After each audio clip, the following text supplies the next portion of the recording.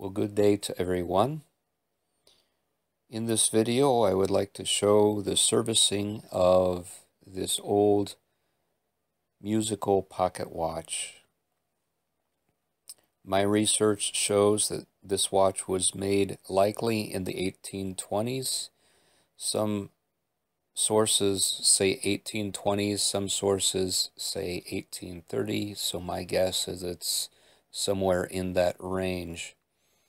This is a pocket watch that is equipped with a cylinder escapement and has not just the time function and the music function, but also has a quarter repeater as well. When I received this pocket watch, it was completely seized up. The balance didn't turn, and um, all the the key wind uh, mainsprings were wound tight, and nothing seemed to work. As I would discover in the course of taking it apart, it was simply a matter of old oil drying up and causing everything to seize and not allowing it to unwind. In the servicing of this watch, it's been a benefit to uh, live in this day where I could bit by bit and piece by piece take uh, record the uh, disassembly of the watch on either a smartphone or on a tablet using the camera, taking a picture of the watch uh, as it first is, and then taking a couple pieces out, taking a picture of those pieces, and then taking a picture of the movement again, and alternating back and forth between the pieces that you take out and then the watch as it evolves from a complete watch into a, a deconstructed watch or a disassembled watch. This provides a reference uh, as you go and later put the watch back together. And this is a, a wonderful thing in our day that we can use and provides a tutorial, a self-made tutorial when it comes to disassembly and reassembly of the watch. This is helpful not only because we know what parts go where when it comes to reassembly, but it also helps you to figure out in what order the watch should be reassembled because in a watch that is as complex as this one, the order in which things goes back together uh, really is important.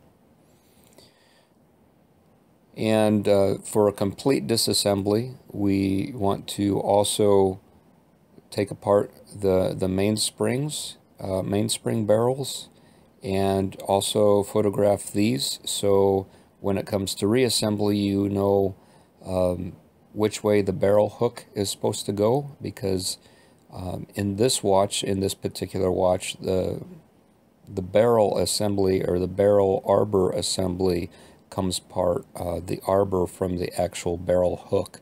So we want to make sure that we've got the hook pointed in the right direction when when we come to reassembly.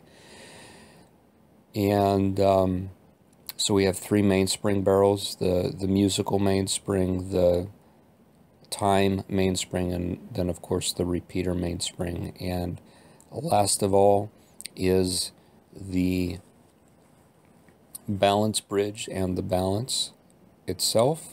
And, and then we are, uh, then we have a situation where all the parts are laid out. And I really strongly recommend laying out parts like this and and either videoing or picturing, uh, taking pictures of the parts laid out in order too. Now in a watch like this that is very complex, I don't always, and I didn't with this one, uh, wash the screws. Uh, with so many parts, it is important that the the appropriate part be matched with its matching screw. And so when you have this uh, photographic uh, reference here, uh, after you reduce the parts to a basket full uh, for the cleaning, uh, once they're cleaned, you can lay them back in their uh, place and with their appropriate screw. That is very important with a piece that is as complex as this is. Before we go on to the cleaning and and and uh, which which I do off camera and the reassembly, I do want to address one point, and that is when I first opened the watch, I immediately noticed what appeared to be uh, a missing part or some parts that were missing.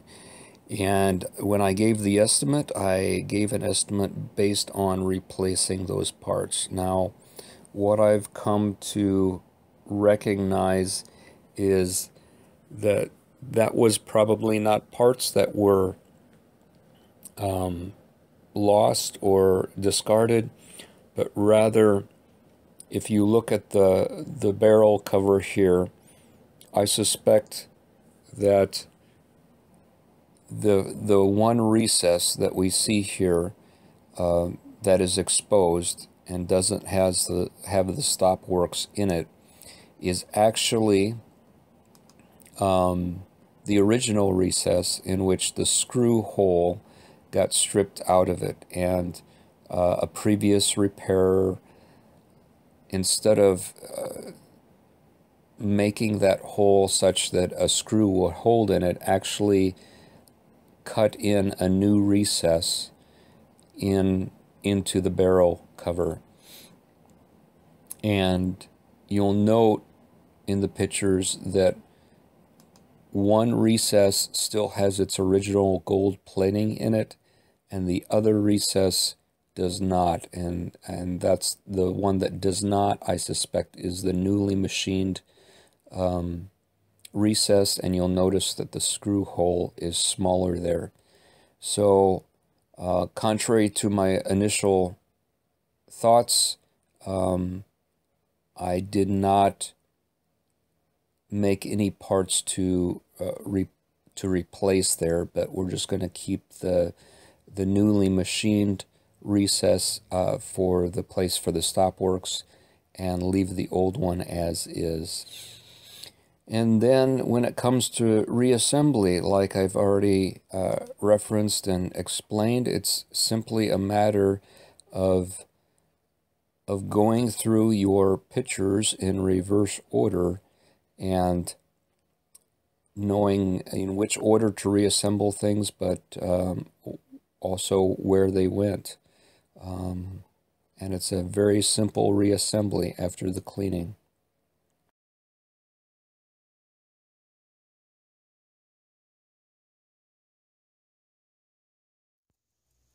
So I thought I'd explain the function, uh, how the music box works. And it starts and is tripped by this uh, little pawl or little cam right here. And this goes around once an hour and it trips this.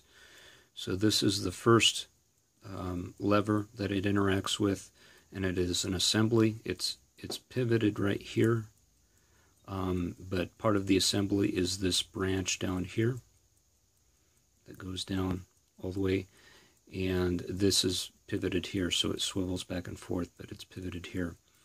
This is the spring that holds this portion uh, perpendicular to it, and this spring uh, is constantly applying pressure, pulling the spring over in that direction to the left. Um, down here, this part of it uh, interacts with a pin that is on this uh, cam. Um, this pin uh, moves moves this lever, the whole assembly, as it's pivoted up here, it moves it to the left or to the right. And down further here, it um, this little notch interacts with the pin here. Um, lifting, lifting this lever, which is the, the lever that stops the whole function of the music box. So you can see that there is a pin underneath that goes through the bridge and engages with the gear stopping the the music box and the uh, the the power running through the gears. So um, when this lever falls into this slot, that's when the music box stops. This here is, um, you can see that's a click. It is a um, an off button that will keep this assembly over to the right hand side and uh, prevent uh, the music box from functioning at all. So this is on on right now. If I were to click it over, it would turn it off by, by holding this lever over to the right. So let's watch the function of this. So by lifting it, you are disengaging this portion of this lever with the pin and allowing this portion to come over and interact with this pin and then when it's released this will push it down uh, starting starting the music box.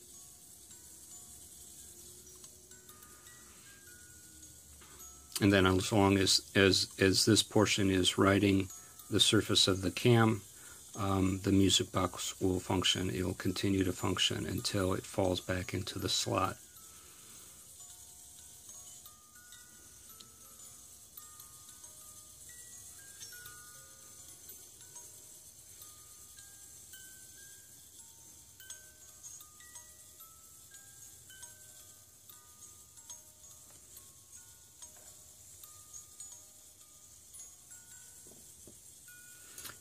And here you can see that the this pin is pushing this out disengaging it from this and allowing this rack or this um, lever to fall then into the slot. There is on the side of the case a little uh, lever down here or a little uh, slide which allows uh, the person to manually start the music box and, and not have to wait for the top of the hour when it will run. And you just push the slide down. It allows that lever to lift. And then if you don't disengage it, if you don't push the slide back, the music box will just run perpetually until the mainspring is wound down. So give it a little time for it to for it to clear that slot and then you can uh, push the slide back and it'll run one circuit. Now, uh, allow me just a few moments to admire the craftsmanship of watchmakers 200 years ago that created a music box such as this or a, musical uh, mechanism such as this, who, without the the means of uh, uh, certainly our modern means of of computer aided uh, drafting and computer aided machining we're, we're able to create this um, without even with electricity. Uh, remember, this was in a time when everything was done by uh, the light of a window and either pedal powered lathes and machinery or machinery that was run maybe on water wheels next to a river or something of this sort. Um, we consider them crude and primitive, uh, but when you look at craftsmanship like this, it's hard not to be impressed. This, unlike modern cylinder type music boxes, uh, the musical tines are not all in one line, but they're actually staggered along the way. And each one of those musical tines was likely hand filed and hand fitted to this mechanism. And if we look at the the disc instead of a cylinder, um, all those pins had to be precisely put in there, not on simply one side, but there's musical tines and pins on both sides. So the ability to do this um, is is something that I greatly, greatly admire. Now about the repeater, I'm not going to go in depth explaining how the repeater works. There's actually a lot more moving parts in here and it's it's quite a complicated piece. I will likely in the future sometime do a video uh, explaining better how repeaters function, maybe a series of videos explaining the different types of repeaters. Suffice to know that this is a quarter repeater uh, that has a plun that that is a plunger type repeater as opposed to a slide uh, engaged repeater and for uh, speed regulation it has a pinion that is set in an eccentric screw or an eccentric bushing that uh, regulates the speed of the repeater and the the plunger for this uh, to engage the repeater is actually the pendant of the pocket watch. And something that I want to draw your attention to is that there is a slide along the outside of the case that can, can be engaged that will lock the pendant so the repeater will not be engaged and uh, you can't push in and um, cause the repeater to go. Now that the watch is assembled in the case, I'll take you through the winding of the watch. You'll note on the back that the keyholes are pretty plain. Uh, the one is marked music and the other one is for winding the time and both are clearly marked which direction you should turn the key something I wish every key wind watch had marked.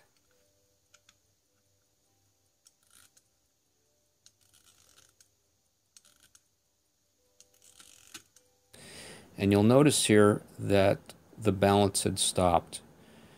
The winding arrangement, the, the winding mechanism on this watch is such that when you wind the time mechanism, the, the balance will sometimes stop. Notice when I'm winding what the balance wheel is doing.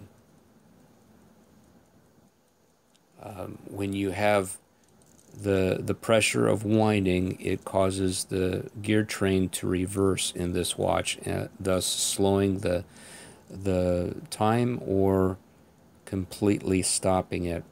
Uh, the only thing you need to do to get it restarted then, uh, as I've just did previously was to give the watch just a little twist and that'll get the balance wheel back moving again. Also note that there is no uh, setting of the watch from the back of the case. Uh, no keyhole, no opportunity. So what we have to do is go around to the front of the case and set the time from the front. And here's a quick look at the slides. The one towards the pendant is for locking the repeater and the one at the bottom is for starting the music box.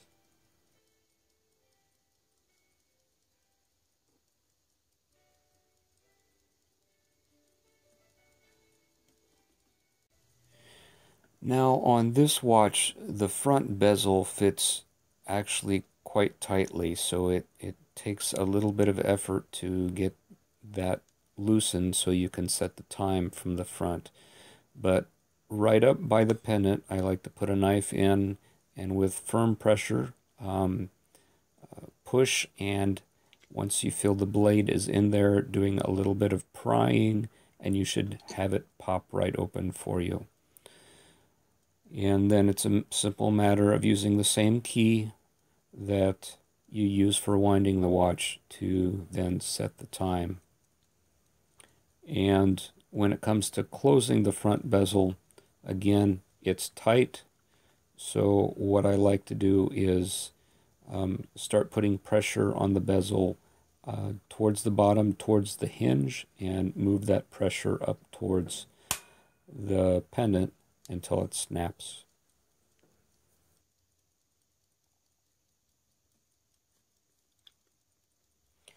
And here we go, reassembled and working. And as I usually do, I like to hold on to it for a couple weeks minimum to make sure that it's keeping reasonable time as well as uh, check the repeater from time to time, make sure it's functioning appropriately um, chiming the correct time, and testing the general function of the whole watch, including, in this case, the music box as well.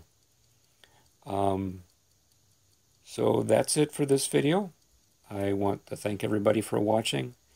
And if you haven't seen my previous video, I discuss uh, replacing, I had to replace four or five screws in this timepiece, replace and repair. And so you might want to check out that video.